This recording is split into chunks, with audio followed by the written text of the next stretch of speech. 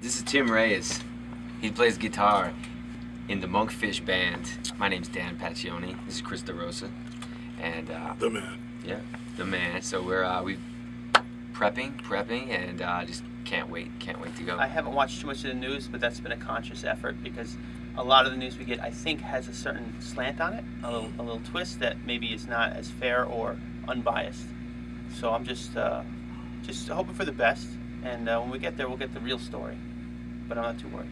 Seems like the elections have uh, started off and have, you know they're underway. I, I understand it's going to be a long time. The, the ultimate thing is that we're all people. We're all human.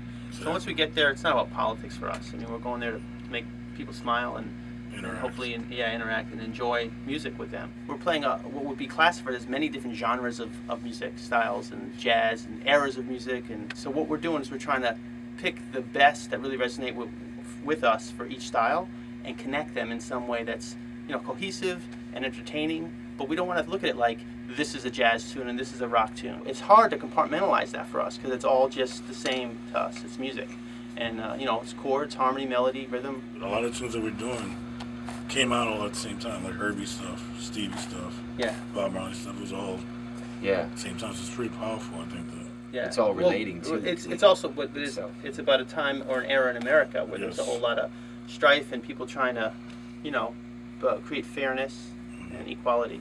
And so this it resonates now, I think, with what's happening in Egypt too. So the whole world. Yeah. yeah,